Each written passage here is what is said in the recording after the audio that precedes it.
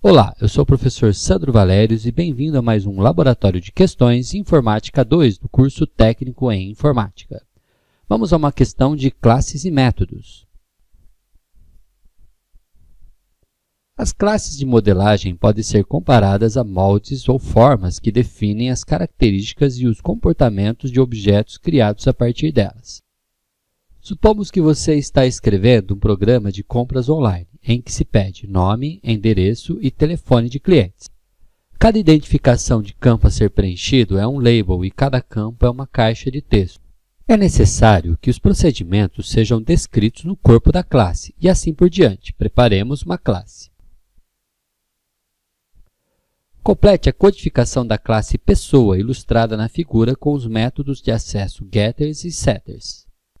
Neste momento, pause o vídeo e analise o diagrama da classe pessoa. Verifique seus atributos com cuidado. Aí, então, escreva os métodos getters e setters de cada atributo. Bom, aqui eu tenho a classe pessoa definida, como está na prova. Vocês têm aqui o, os atributos, nome, endereço, telefone, e o método construtor.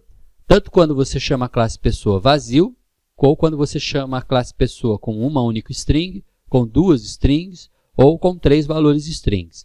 Então, isso já está definido na sua questão. Você já tem isso pronto. Falta apenas inserir aqui os getters e setters. Nós vamos fazer isso. E aqui nós temos um método que apresenta a pessoa. Ele vai escrever na tela do console nome, e aqui nome, endereço e telefone. Nós vamos agora definir os métodos gets e setters. Você pode fazer isso escrevendo manualmente, ou pode usar o construtor apertando as teclas Alt e Insert. O NetBeans ele facilita de método que é muito simples. Gets and Setters, e aí você define. Vamos fazer só de nome, para vocês perceberem. Nome.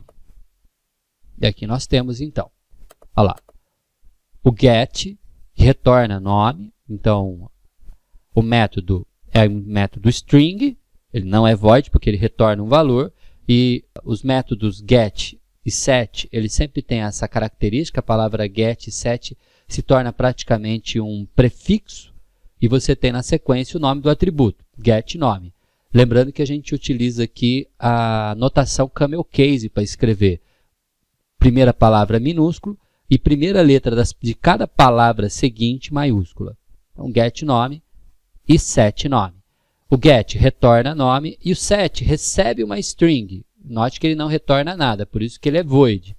E essa string que nós recebemos aqui, no parâmetro nome, ela é atribuída para thisNome. ThisNome é exatamente o atributo da classe pessoa, que é diferente desse nome, que é um parâmetro do método setNome.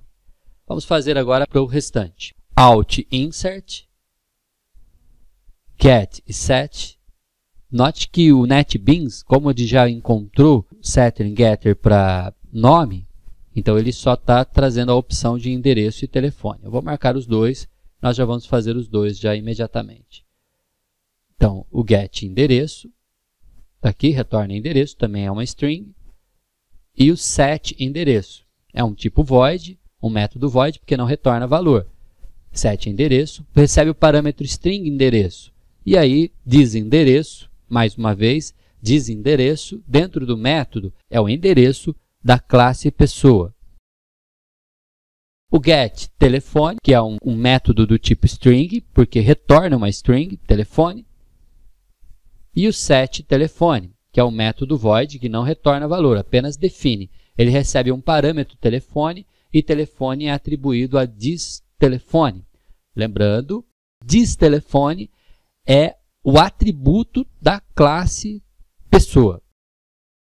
E apenas telefone dentro do método é o parâmetro string do método setTelefone. Com isso, encerramos o nosso laboratório de questões a respeito de classes e métodos. Lembre-se, o objetivo da resolução desses exercícios é auxiliá-lo na compreensão dos assuntos abordados na aula, portanto, não deve ser considerado como única fonte de estudo. Participe de todas as atividades propostas e até o nosso próximo encontro.